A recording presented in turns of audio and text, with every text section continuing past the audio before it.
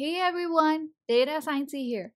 Imagine this. You need to buy socks, book a ticket, but instead of doing it yourself, your browser just handles it for you. Sounds like sci-fi, right? Well, Opera just made it real. So meet Opera's AI browser called Operator. Opera's built-in AI that does not just assist you, it usually does things for you on the web.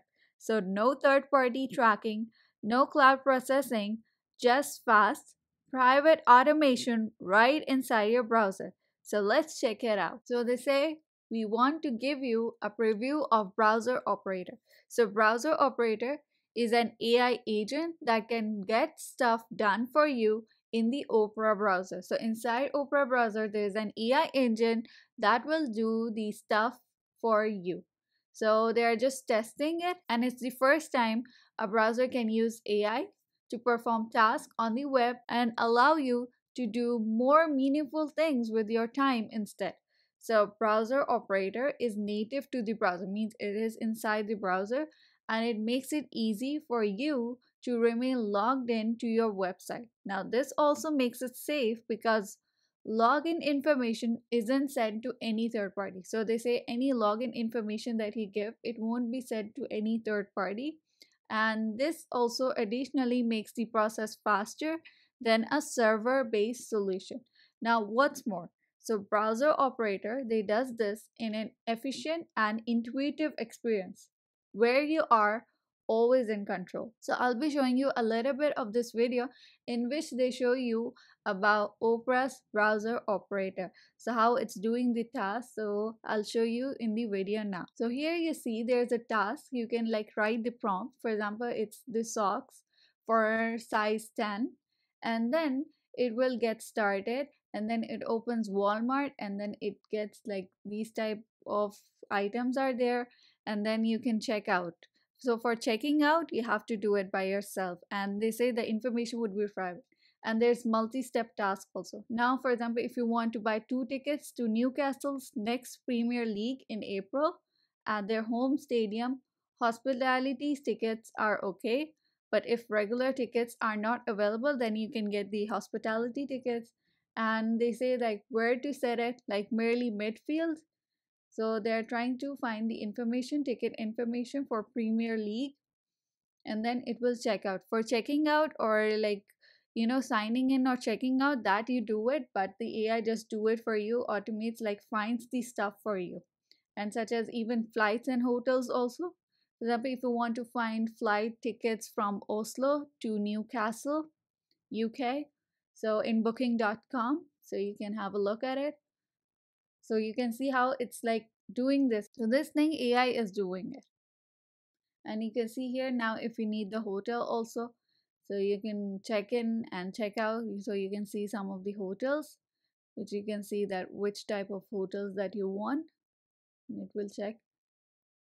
And you can also cancel it also if you want. So you can just stop the process also. So here browser operator, it takes AI out of the chatbot and it integrates it directly into the browsing flow. Means in the browser you see this ai out of the chatbot which is an agent and it will do the browsing for you. Now this aligns with the broader role of the browser. Means here the browser would be more powerful while you're online browsing the web and also to give you the tools to use your time more effectively. So instead of searching for hours for a particular thing that you need, AI would do it for you. And if you look at the example from the feature preview video, if we say that buying socks is something most of us have to do at some point, but it's not something that we are particularly passionate about. So what if you could let Opera's browser operator do that for you so that it could free up your time to meditate or do something else more meaningful to you while testing the browser operator so these are the questions that they have been asking. Now, how does this work? Now, the main thing, how does this work?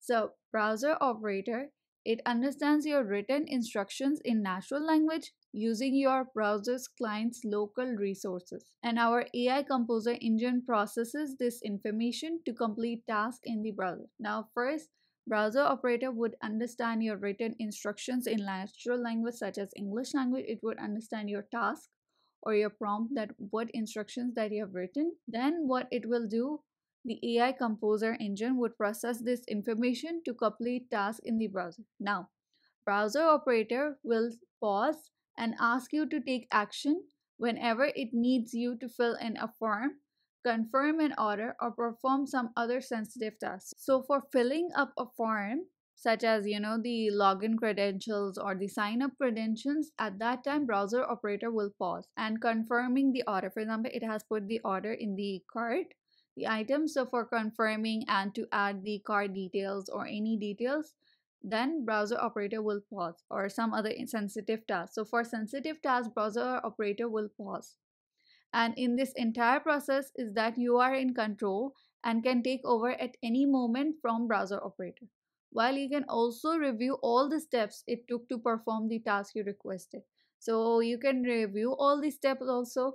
You can have a look at the browser operator and review all the steps and you can also take over at any moment from browser operator means you can cancel it or you can say like or pause it or something like that. What sets the browser operator apart? So why this browser operator is different from other operator because OpenAI is also planning to make it. So why is it different from that? So this feature preview is a proof or concept in which we're taking advantage of our own expertise in making web browsers and working with AI in a way that matters to our users. So they're trying to make AI helpful for you and we know how a web page is built and what it's meant to look like. So they brought AI into the own playing field and created browser operator. Now the approach to browser operator is that it focuses on empowering users while preserving their privacy. So they say that privacy would be preserved.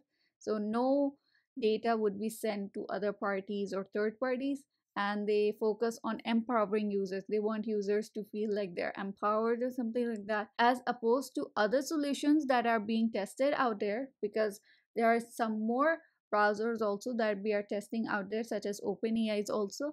So the concept of the AI agent in the browser, it does not rely on screenshots or video capture of the browsing session to understand what's happening in it. So here they're saying that we are not relying on screenshots or video capture of the browsing session to understand what's happening in it. And nor is it a version of the browser running in the cloud with your user credentials because this browser operator is in the Opera browser. So it runs inside your browser and it's on your device and they say that we do not take screenshots or video capture the browsing session to understand what's happening in it to understand the concept. So that's not their concept. So what do they do? It uses the dom tree and browser layout data to get context meaning that it uses a textual representation of the web. Okay let me tell you what dom tree is. Okay dom is document object manipulation. So for example if i right click and i click on inspect okay so let me show you here. So this is the web page in which I'm telling you about Opera browser operator. So this whole thing, so this whole thing is the DOM tree. So in which there's the full page, which is called div. There's the article inside it. There's header. There's div class. There's, for example, there's text. There's, for example, you can see here, there's the logo you can see here many things so this thing is the DOM tree so they take this to understand it or you can say to train the AI agent inside the browser. So this is the technique or this is the approach that they use for training the browser operator for Opera. This solution is faster because browser operator they don't need to see the screenshots or they have to look at the screen from the pixels and understand it. And another advantage is that the browser operator can access the whole page at once without the need of scrolling through, effectively reducing the overhead and time needed to bring a task to completion. And also, so the best part is that browser operator works in the same environment as you means in the browser it works so it does not require a virtual machine or a server in the cloud so that also means that your browser history logins cookie settings etc are being kept locally in your device in which the user's experience would be smooth and more private. So since operations are performed locally, so the users can shift between the operator control and user control. Mean, operator control and user control means either you can give control to the browser operator or either you can take back the control and you can use it by yourself. So here they say that since the browser operator sees the web page data the same as the browser, That means that the pop-up dialogs such as cookie acceptance and verification dialogs, it does not represent an obstacle to access the content of the page. So this is not an obstacle to access the content of the page such as cookie acceptance, you know, those pop-up dialogues. So because browser operator is in your browser. So when you access a website, the pop-up dialogs will pop up like such as cookie acceptance and verification dialogs. So these things are not an obstacle for the browser operator to access the content of the page. So they say AI is changing the way you browse. So through several initiatives they have presented how AI can be integrated.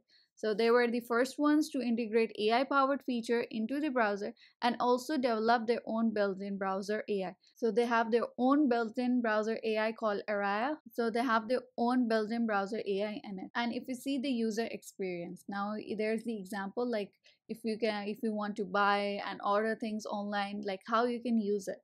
So first you ask it like order matching socks and t-shirt size medium light colors and then what will happen? There would be the task then they would say like it proceed to add the selected t-shirt to the cart then it will search google then it will visit amazon then it will click size m then it will proceed.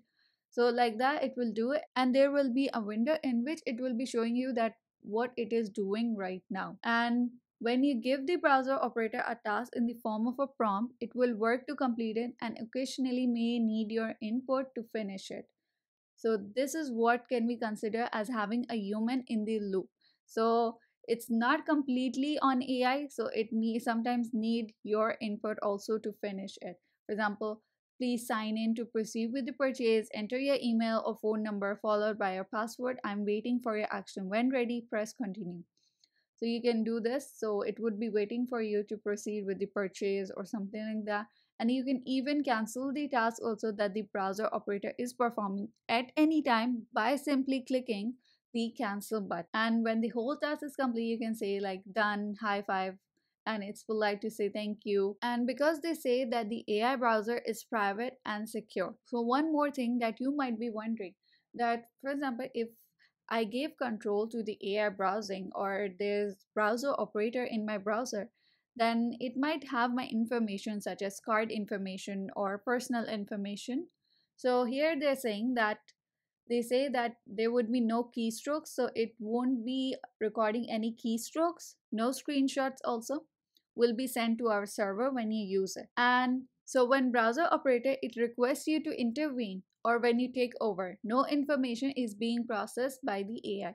So here when browser operator, it tells you to add your information such as car details or login information or something like that. So at that time, they say no information would be processed by the AI. So at that time, AI would be paused and it will only start resuming when you click the button resume, then it will start reading the website again.